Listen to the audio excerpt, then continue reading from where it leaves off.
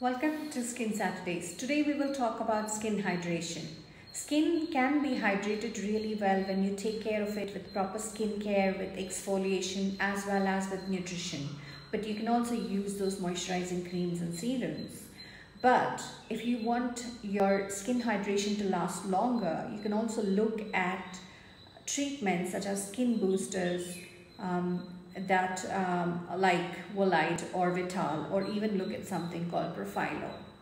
These treatments work really well if they are combined along with microneedling or with other laser devices. That's all for today. Thank you.